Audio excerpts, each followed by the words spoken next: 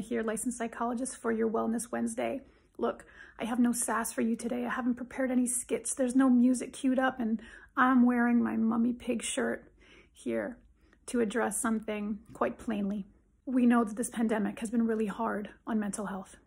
And despite the efforts of practitioners putting all of their services online, I know that services are really hard to come by.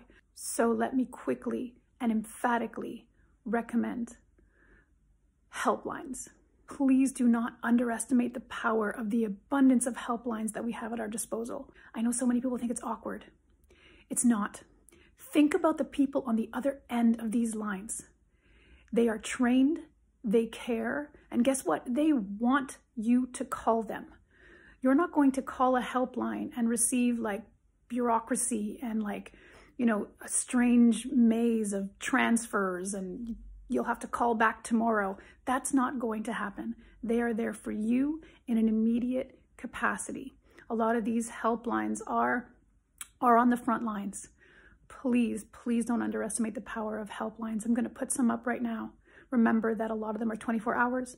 A lot of them have texting services and chat services. And a lot of them, uh, you know, will help you when you feel that nobody understands you, will help you in the middle of the night when you're doing that nighttime thinking, that nighttime detrimental thinking sometimes.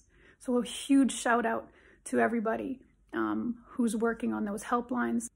Huge thank you. We need you so much. And as promised, here's a list of some helplines here in Montreal.